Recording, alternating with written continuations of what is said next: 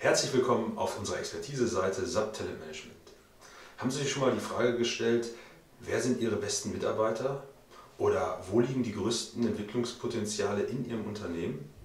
Genau um solche Fragen zu beantworten, wurde der Bereich Talentmanagement im SAP HR aufgenommen und dieser wickelt auch die Prozesse ab, wo diese Fragen geklärt werden.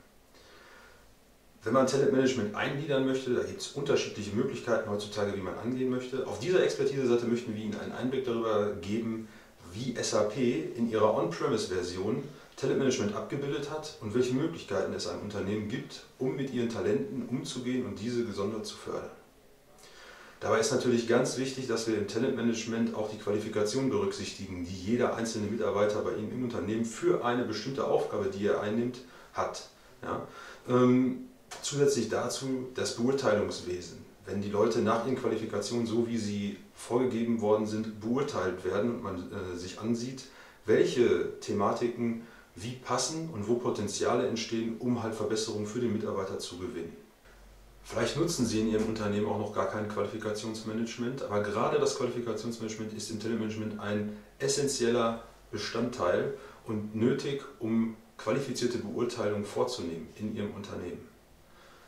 Ein Qualifikationsmanagement selber, wie sieht das aus, wenn Sie es einsetzen möchten? Es werden Rollenprofile definiert, welche Rollen in Ihrem Unternehmen vorhanden sind und diesen einzelnen Rollen werden Qualifikationen und Skills zugewiesen, ja, die dann beschreiben, wie eine Rolle ausgeprägt sein muss, um eine bestimmte Aufgabe auszufüllen.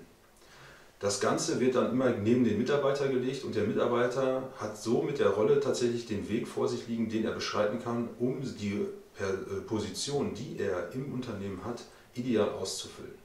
Das Ganze wird dann immer wieder controlled über das Beurteilungswesen, welches dann in jährlichen oder halbjährlichen Feedbackrunden in der Regel äh, angewendet wird, um äh, die Qualifikation abzumessen und die nächsten Schritte einzuplanen. Und nun kommt das Talentmanagement, wenn ich mir die großen Talente des Unternehmens raussuchen möchte oder die Potenzialträger, die, die halt noch sehr groß wachsen können im Unternehmen, wenn ich die herausfiltern möchte, da kommt nun das Talentmanagement zur Verfügung. Das greift nämlich auf den Beurteilungsstand zurück. Also wie sind die Einzelnen, wie wurden die Leute beurteilt von ihren Vorgesetzten, von ihren Kollegen, je nachdem welches Beurteilungsschema sie haben. Und ähm, gerade dann in dem Hinblick werden Reviews gebildet. Ja? In den Reviews sieht man häufig dann äh, Matrizen, die dann halt zeigen, welcher Mitarbeiter wo steht, welcher ist gerade an der Grenze seiner, seiner Förderung, welcher benötigt noch Förderung.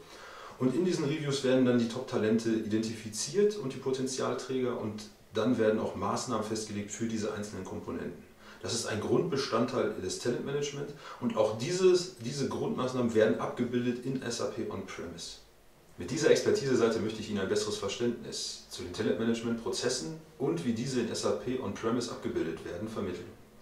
Sollten Sie Fragen haben, kommen Sie gerne auf mich zu. Und jetzt wünsche ich Ihnen viel Spaß auf unserer Expertise-Seite zu SAP Talentmanagement.